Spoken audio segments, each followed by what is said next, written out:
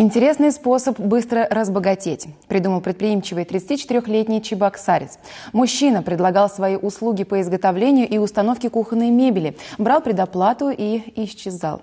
Подробности в следующем сюжете.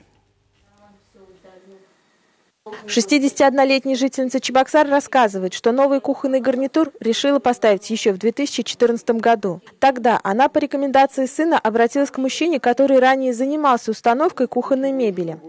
Он пришел, замеры сделал, попросил аванс 50 тысяч, о чем он мне и расписку написал, и в течение полтора-двух месяцев обещал установить кухню.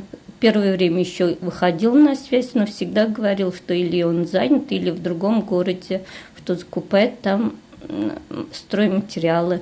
Через некоторое время он вообще исчез на связь, перестал выходить.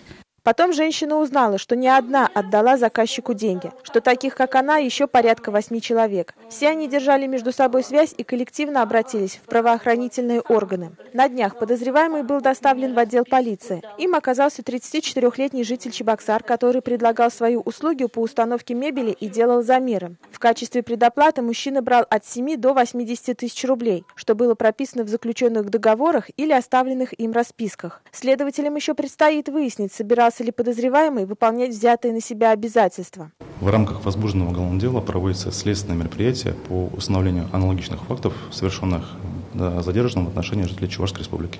Пока идет разбирательство, пенсионерка уже установила на своей кухне новую мебель. Но на этот раз она обратилась в специализированный фирменный магазин.